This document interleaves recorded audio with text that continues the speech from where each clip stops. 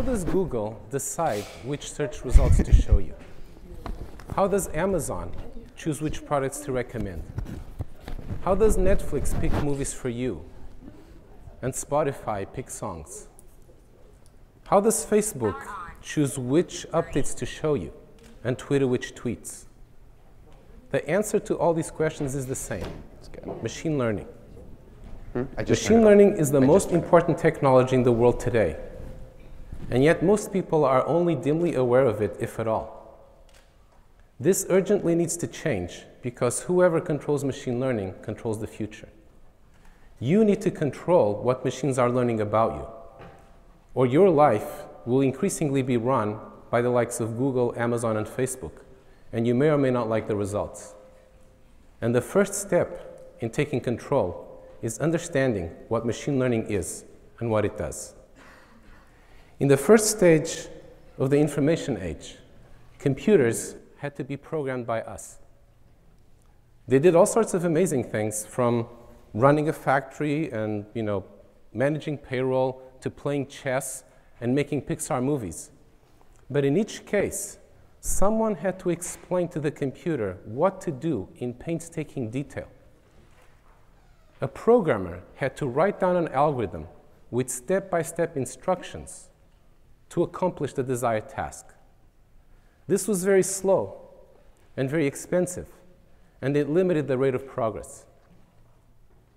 But in the second stage of the information age, which we are now entering, we no longer have to program computers because they figure out by themselves what to do by learning from data.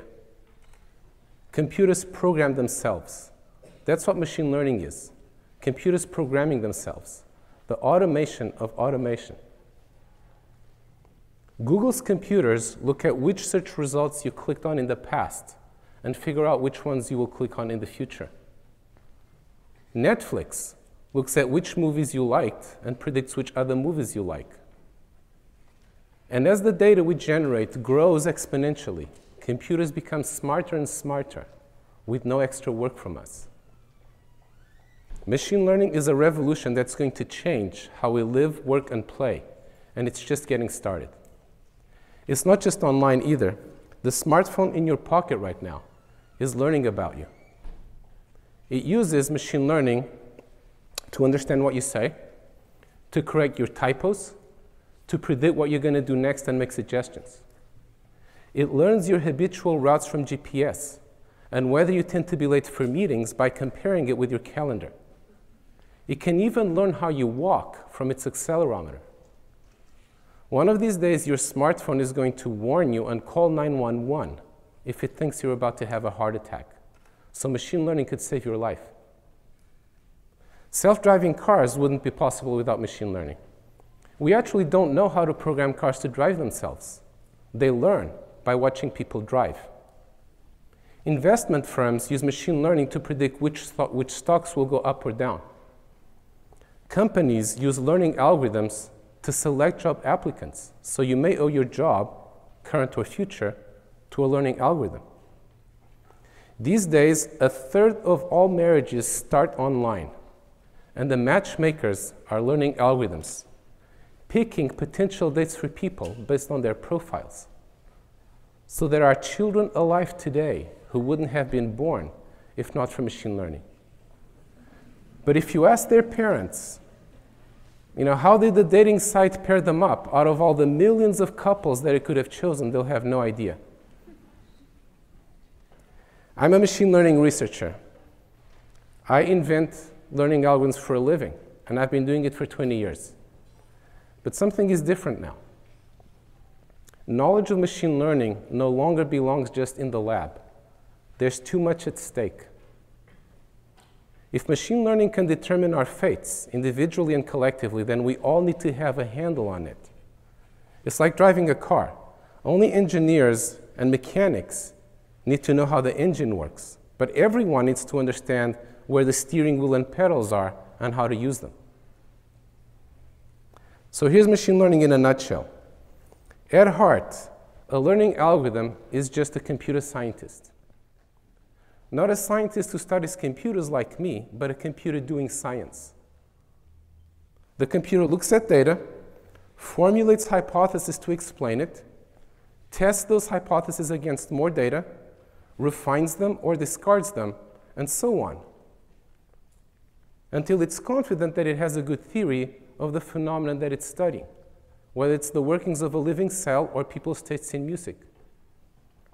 Machine learning is really just the scientific method at work, except it's being carried out by computers instead of by human scientists.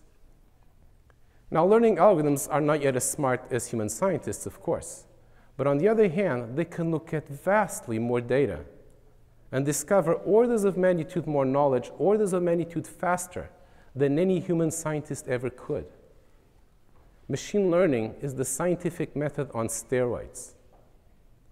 There's a new source of knowledge on Earth computers learning from data. And soon, the knowledge from this new source will dwarf the knowledge that scientists accumulated over centuries and that the whole human race accumulated over millennia. A learning algorithm is different from a traditional learning algorithm in one essential way. With a traditional learning algorithm, you need a different algorithm for each different thing you want the computer to do. If you want the computer to play chess, you have to program it to play chess. If you want the computer to do medical diagnosis, you have to program it to do medical diagnosis. But a single learning algorithm can do an infinite variety of different things, depending on the data that it learns from. If the data is chess games, it learns to play chess. If the data is patient records and the corresponding diagnosis, it learns to make those diagnoses. This is extraordinarily powerful. A machine learning algorithm can be very simple, and yet it can accomplish very complex things, even things that we don't know how to program a computer to do, like driving a car. A learning algorithm is a master algorithm. It makes other algorithms. And the holy grail of machine learning researchers is to invent the ultimate algorithm, one that is capable of learning anything from data. We've been pursuing this goal for several decades now, and we're getting pretty close. There are five main paradigms in machine learning. Each one of them is inspired by ideas from a different field evolution, neuroscience, psychology, philosophy, statistics. Each one of them is fascinating in its own right, so let's see what they're all about. The most obvious way to create a universal learning algorithm is to emulate the one inside your skull. Everything you know, everything you've ever learned is encoded in the connections between the neurons in your brain. Connectionists, as they're called, design learning algorithms based on this idea. Their leader is Geoff Hinton, a psychologist turned computer scientist who splits his time between Google and the University of Toronto. He believes that the way our brain learns can be captured by a single learning algorithm, and he spent the last 40 years trying to discover it. In fact, he tells the story of coming home from work one day very excited, saying, I did it, I figured out how the brain works. And his daughter replied, Oh, dad, not again. but after many ups and downs, his quest is starting to pay off. Backpropagation, a brain inspired learning algorithm that he co invented, is taking the world by storm. Rebranded as deep learning, it's used by the likes of Google, Facebook, Amazon, Microsoft to do everything from recognizing images and speech to choosing ads and, uh, uh, and, you know, and search results to show you. DeepMind, a startup that Google paid over half a billion dollars for, is essentially a backpropagation shop. Backpropagation is a remarkably simple algorithm. In essence, it just consists of repeatedly strengthening or weakening the connection between each pair of neurons in order to improve the, the accuracy of the predictions of the algorithm. The most optimistic of the connectionists believe that backprop is the master algorithm, a single learning algorithm that will be capable of learning anything and therefore of ultimately automating all knowledge discovery. But the more sober ones admit that backprop is still a far cry from the master algorithm. And the other machine learning camps have very different ideas on how to get there. Take the evolutionaries. They were led by John Holland from the University of Michigan until his death in August of last year. They believe that evolution, not the brain, is the master algorithm. Backprop may be useful fi for fine tuning the connections between your neurons, but evolution made the brain itself, not to mention all life on Earth. Holland started out in the 60s eh, you know, simulating evolution on a computer complete with populations of competing individuals, fitness scores, sexual reproduction between uh, the fittest individuals, the whole thing.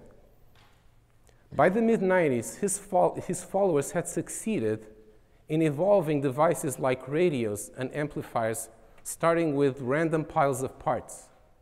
And along, along the way, they amassed an impressive pile of patents. These days, they're busy evolving real hardware robots with the fittest individuals in each generation programming 3D printers to produce the next one.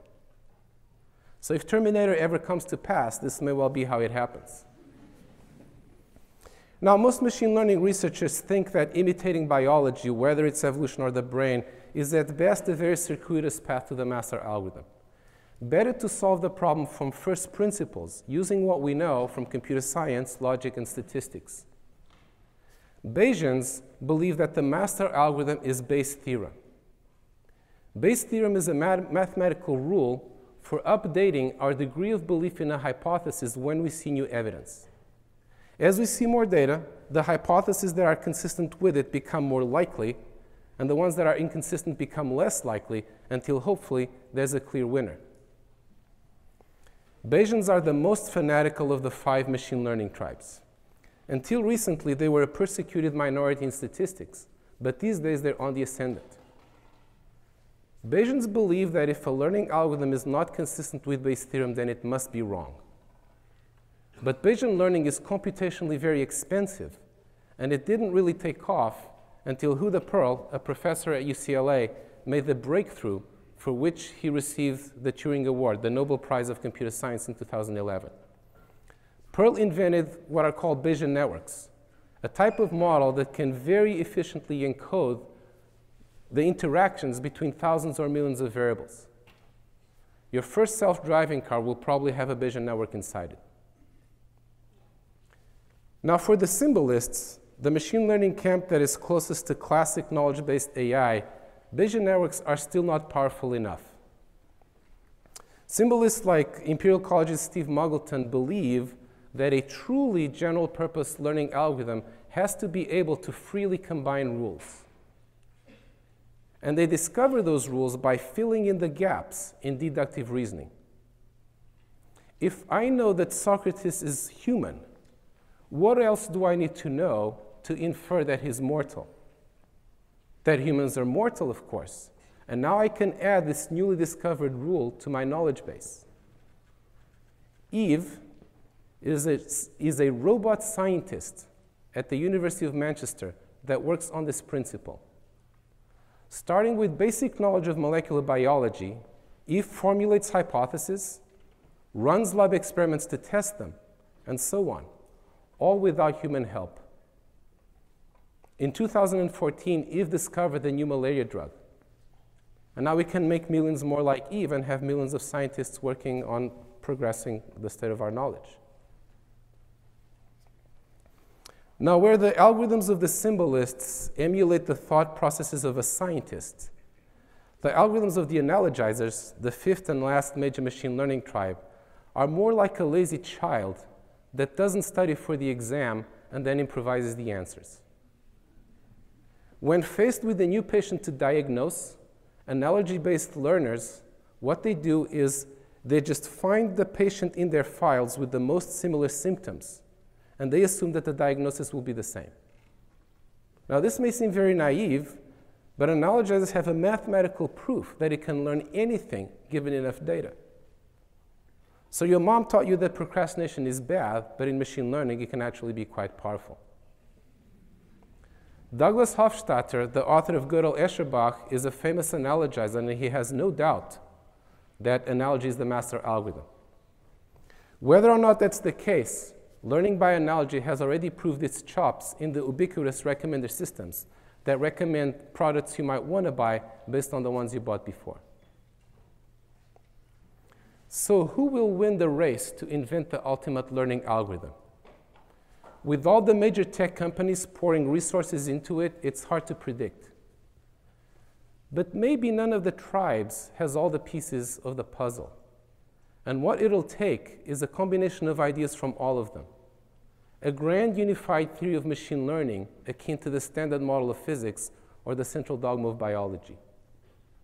Or maybe it'll take an entirely new insight which could well come not from a professional researcher, but from an outsider, or from a student in a dorm room like Geoff Hinton was when he started out on his quest.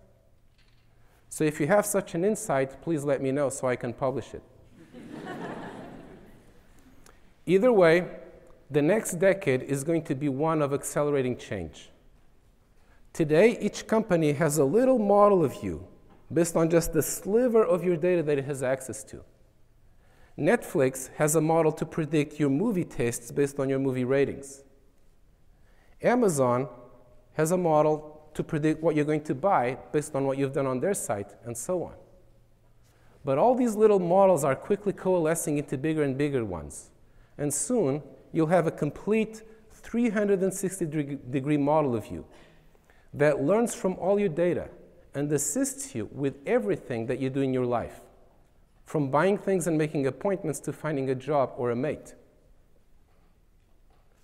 Our digital alter egos will be even more indispensable to us than our smartphones, and the world economy will revolve around them. Our society will become a society of models.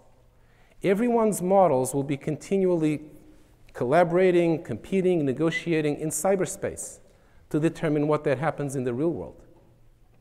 You click on the Find Me a Job button on LinkedIn, and your model instantly interviews for all the open positions that match your specs. At the same time, another copy of your model can be looking for a car for you, exhaustively researching all the options and haggling with the car dealer bot so you don't have to. If you're looking for a date, your model will go on millions of dates with thousands of other people's models and select the most promising ones to try out in the real world. But your data and your model have to be under your control, not owned by some third party that may have a conflict of interest. Sergey Brin says that Google wants to be the third half of your brain. But do you really want part of your brain constantly trying to show you ads? Probably not. we need something different. Maybe something like data banks that store your data and use it on your behalf in the same way that regular banks store and invest your money.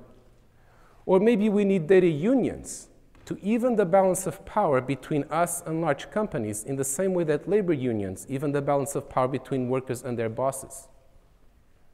And you need to be able to interact with your model, setting its goals, asking it to justify its suggestions, telling it where it went wrong and why. All very different from the black boxes that we have today. And finally, as a society, we're going to have to decide what kind of society of models we want to have. What's allowed? What's not? How do we make sure that everyone benefits? How do we smooth the transition? There is lots to figure out. If we do, there's a bright future where our lives will be happier and more productive. If we don't, it'll be a huge missed opportunity. It's in our hands. Thank you.